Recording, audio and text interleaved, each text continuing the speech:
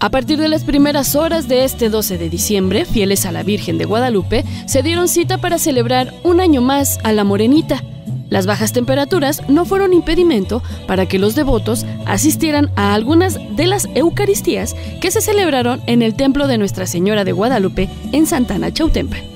En agradecimiento, el grupo de mayordomos y familiares regalaron deliciosos tamales y atole para minorar las inclemencias del clima. Las mañanitas a partir de las 12 horas, de las 0 horas, perdón, bueno, ahorita, 12, 1, 2, 3, 4, 5 y 6, todo eso con apoyo de diferentes vecinos, rondallas y que le vienen a dar las mañanitas a la Santísima Virgen de Guadalupe. Y pues más que nada todo esto lo hacemos en, en fervor a ella. Es una fecha muy especial porque al final de cuentas es la madre de todos los mexicanos y la fe es la que nos mueve a confiar en ella, a creer en ella, a pedirle a ella que nos apoye, que nos oriente y que nos ayude. Y más que nada agradecerle, vuelvo a repetir, la dicha de que nos permita ver la luz del día. A través de la música, los fieles también expresaron su agradecimiento en la capital del estado.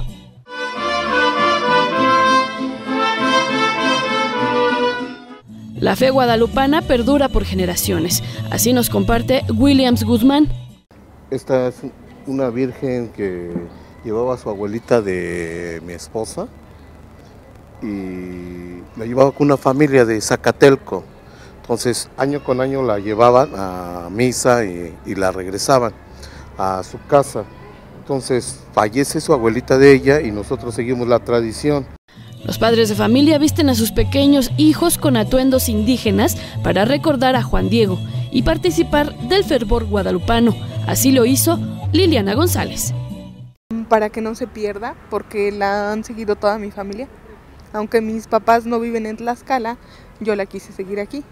Cientos de personas acudieron a los templos con sus imágenes de la Virgen para que fueran bendecidas. Ahora noticias, Belén Rodríguez.